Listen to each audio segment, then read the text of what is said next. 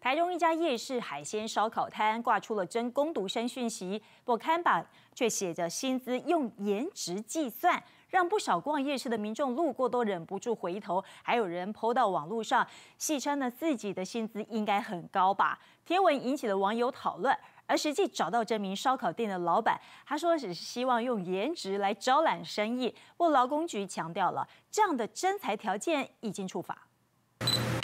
一张真人看板上头写真攻读生，但薪资却以颜值计算。没错，你没看错，这样的看板就出现在台中的夜市烧烤摊贩为了真人贴出看板，让不少逛夜市的民众看到都忍不住回头，还有人 PO 到网络上戏称自己薪资应该很高吧。底下有许多网友留言，有人说惨了，去还要倒贴钱给老板，也有人说老板会破产。如果他没有能力的话，你就是聘请他，请他虽然会有生意，可是不会达到效益。是个人老板兴趣而已吧？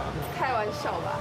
以为是在开玩笑，不过实际找到这名烧烤店的老板，他则说这是真的。目前工读生真的是以颜值下去计算的话，也是有做到两百起的。工作能力 OK，颜值 OK 的话，那当然薪水，对吧？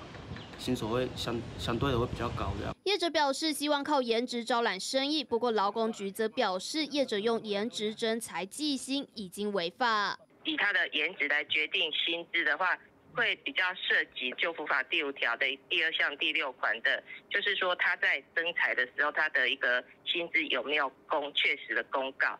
劳工局强调，用长相作为计薪条件，触犯就业服务法，并且薪资必须要揭露。后续介入调查，如果查证属实，不排除依法开罚。不过，烧烤摊的征才广告用颜值计算薪资，也引发话题。记者谢宪宗、林佳莹台中采访报道。